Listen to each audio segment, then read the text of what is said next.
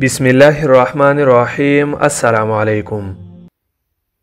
नाजरीन बिन अवी ताल्लुक़ के माहरीन के मुताबिक मुस्लिम ममालिक बिलखसूस यमन और फ़लस्तीन के ख़िलाफ़ अमरीका और उसकी हामियों की फौजी जारहीत के मजम्मत में इमारत इस्लामिया का मौक़ ज़ाहिर करती है कि अफ़गानिस्तान में मौजूदा हुकूमत बाज़ इस्लामी ममालिक की तरह मगरब और अमरीका पर इहिसार नहीं कर रही, बल्कि ये आज़ादाना और कौमी मफादात को मद्नज़र रखते हुए फैसले करती है।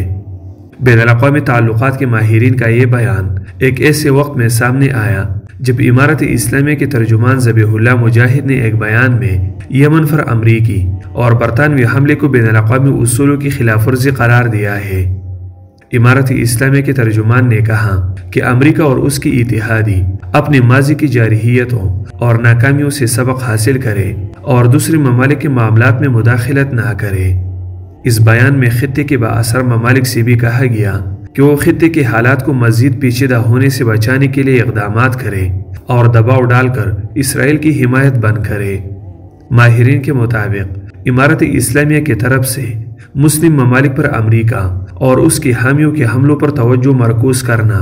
खास तौर पर यमन और फ़लस्तीन पर यह ज़ाहिर करता है कि अफ़गानिस्तान में मौजूदा हुकूमत मगरबी ममालिक बिलखसूस अमरीका पर कोई इहिसार नहीं करता, बल्कि आज़ादाना और कौमी मफादात को मद्नज़र रखते हुए फैसले करता है।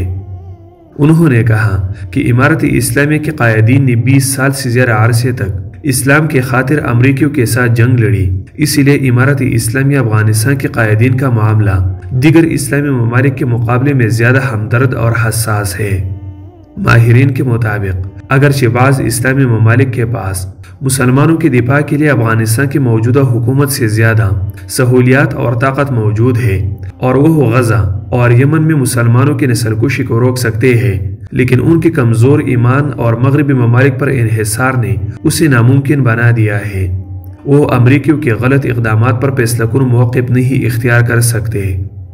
बाज़ इस्लामी हुकूमतों के मगरबी ममालिक पर इहिसार की वजह से ये हुकूमतें आलमी जबर के खिलाफ अपने आवाम की जदोजहद में भी रुकावट बनती है और उन्हें जदोजहद से दूर रखती है। जबकि इमारत इस्लामिया के यमन के खिलाफ अमरीका और बरतानवी फौजी जारहीत और गजा पर अमरीकी हिमायत याफ्ता इसराइली हमले पर तवज्जो मरकूज करना यह ज़ाहिर करता है कि इमारत इस्लामिया की खारजी पॉलिसी बहुत अच्छी है और अफ़गानिस्तान हर हाल में पूरी दुनिया के मुसलमानों की हिमायत करता रहेगा। उन्होंने इस बात पर भी ज़ोर दिया कि इमारत इस्लामिया के कायदीन ने न सिर्फ़ यमन और गजा पर अमरीकी और इसराइल की जरहीत की जबान को मज़बूत किया। बल्कि उन्होंने मुसलमानों के उमंगों को बरकरार रखने के लिए पूरे मुल्क में मस्जिद अक्सा जैसी मुतद इमारती तामीर की। इमारत इस्लामिया ने गुज्त दो सालों में अपनी खारजी पॉलिसी में कौमी मफादात के हवाले से शूरी तौर पर फैसला किया और अफगान हुकूमत के खिलाफ बाज़ ममालिक के मनफी प्रोपेगंडे के बावजूद इमारती इस्लामिया इस काबिल रही कि खत्े के ममालिक के साथ अच्छे ताल्लुक और, इस, और इस्लाम के क्याम के लिए जदोजहद जारी रखा। नाजरीन याद रहे कि अमेरिका ने यमन में हस्यों के खिलाफ कार्रवाई जारी रखते हुए एक और हदफ को निशाना बनाया है। यूएस सेंट्रल कमांड के मुताबिक, उसने जंगी बहरी जहाज़ से गाइडेड मिसाइल इस्तेमाल करते हुए ताज़ा हमला कर दिया है। हुकाम का कहना है कि वो हौसियों के खिलाफ इससे कबल किए गए फिजाई हमलों में हौसियों के हमला करने की सलाहियत को होने वाले नुकसान से मुतमिन नहीं थे।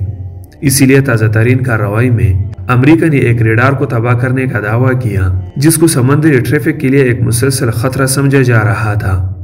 अमेरिका के मुताबिक हौसियों ने नवंबर से बहिर अहमर में कम अज कम अठाईस हमले किए, जिनसे पचास से ज़्यादा ममालिक शहरी कारगो और जहाज़ मुतासर हुए। इस हवाले से आलमी बैंक ने भी खबरदार किया कि कोरोना वायरस के वबा के नतीजे में पहुँचने वाले नुकसान के बाद आलमी मीशत की बहाली का मामला मशरक़ वस्ती में जंग फैलने से कटाई में पड़ गया है। गजा में इसराइली फौजी कार्रवाई और बहर अहमर में अमरीका और हौसी मलेशिया के हमलों से आलमी तजारती जहाजरानी को पहुँचने वाले नुकसान के हवाले से आलमी बैंक ने अपनी रिपोर्ट में कहा कि आलमी मीशत की बहाली की उम्मीद दम तोड़ गई है। आलमी बैंक ने कहा कि दुनिया भर में तोानाई की कीमतें बढ़ रही है और दूसरी तरफ़ महँगाई बढ़ती जा रही है, जिसके नतीजे में आलमी सतह पर शरह नमो मुतासर हुई है। अमरीकी सदर जो बाइडन ने कैम्प डेविड जाते हुए मीडिया से गुप्तगु में कहा कि यमन में हौसी मलेशिया के ठिकानों पर हमलों के ज़रिए हमने ईरान को पैगाम दिया कि हम मुकम्मल तैयारी की हालत में हैं।